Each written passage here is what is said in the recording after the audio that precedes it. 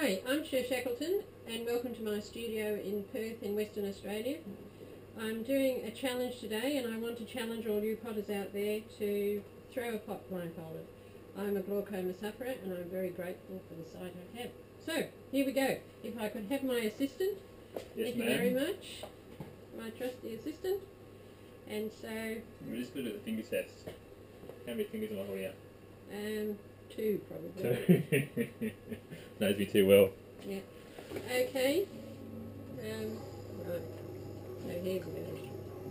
So what are you making today? So I'll just try and make a little cylinder form, and um, and so of course we've got to get it in the middle of the wheel, which is the trick, and try and centre it.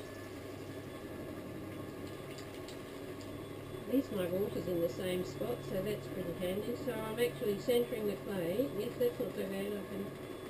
It is just so so weird because I do most of this by sight. I'm just, uh, oh. So I'll it up a bit and, and then centre it. Centre.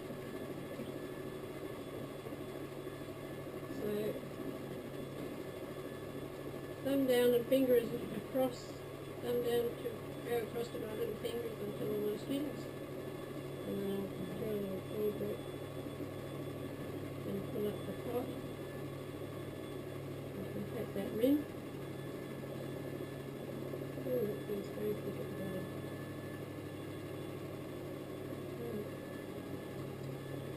Does it feel centered? Is it? Yeah, yeah, it's centered. Yep. Yeah, no, I wouldn't be able to pull it up very well if it was uh, not centered. So I'm just pulling it up, giving it a bit of height, just a bit of pressure on the sponge, hitting, pushing towards the finger inside, just slowly bringing it up, and compact the rim just so it holds it all together. Oh, I'll try and nudge nudge that top end so that the top stays narrower than the base. Gives easier control. Plenty of water so it doesn't stick. So it feels fairly thin but without looking it's Hard to tell, isn't it? it's hard to tell. It's definitely a challenge. So, yes, I'm very lucky where I live. I'm, I, I have, um, I, I have treatment, so drops every day, which I retain my sight. So, some places, uh, some people not so lucky. I'll just straighten this up a bit because it feels as though it's got a bit of a wobble on it. So I hope you'll all have a go at this. I challenge you all, especially those gnarly dudes in the UK, all those big chest beating wood fire totters.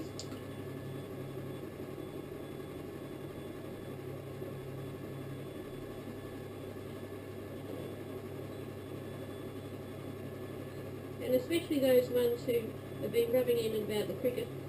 You know who you are.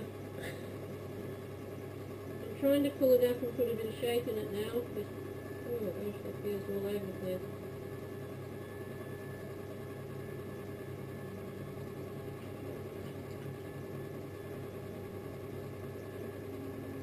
Turn it in a bit.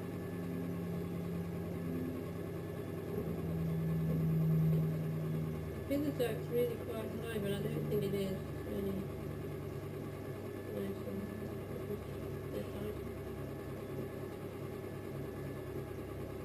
I'm probably using more water than I would normally use. For some strange reason, I don't know.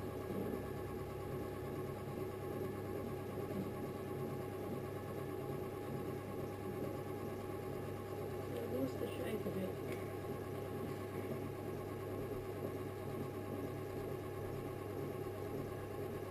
Feeling a bit like a bird. So have you, have you intentionally bowed it in the middle? Bowed it in the middle. Yeah. Well, I'm just trying to give it a bit of shape. Yep. So I think it's, oh gosh, look, you know, I don't know how, if it's in proportion or not. And that's a bit thick there, so I'll pull it up. And pack that rim so it won't fall apart.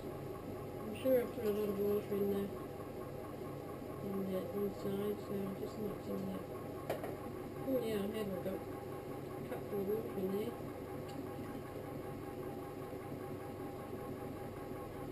Have to take that water out. You leave that water in, there'll be S cracks in the bottom of your pot.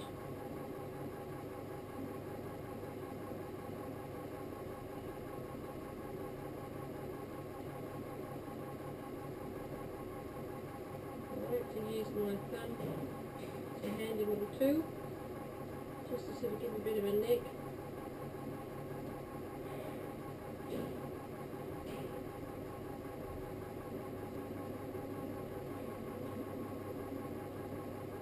So I think, I think I'm about done. So I'll, I'll do like I usually do if all else fails. I'll turn it into a jug.